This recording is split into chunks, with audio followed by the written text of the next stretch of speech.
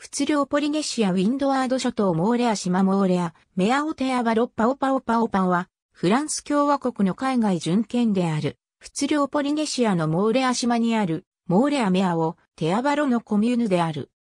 パオパオは、モーレア島の中央部に位置する、ベルベデーレ見晴らし台付近の丘から見た、パオパオと、クック湾2007年の国勢調査によると、パオパオの人口は4244人、2012年の調査結果によると4580人と5年で336人増加した。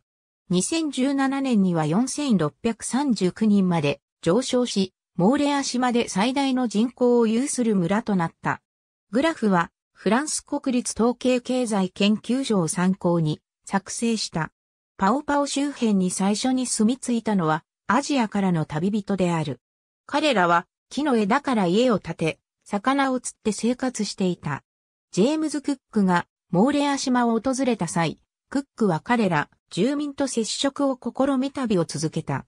パオパオが面しているクック湾は彼の名にちなんで名付けられたものである。パオパオの住民は他の当初に行くためによくモーレア空港を使用する。かなりの観光客が訪れるモーレア島近くの島であるタヒチ島まではフェリーで45分かかる。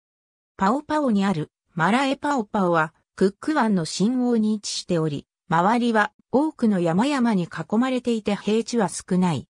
パオパオ南部の丘にあるベルベデーレミハラ市台はパオパオやロツイ山、クック湾を眺望する絶好の場所であり、またその周辺にはポリネシア文化において聖地であるマラエがある。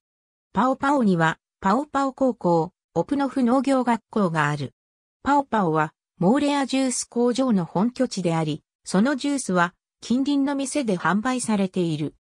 シュペルマルシェパオパオは村一番の規模を誇る店である。ありがとうございます。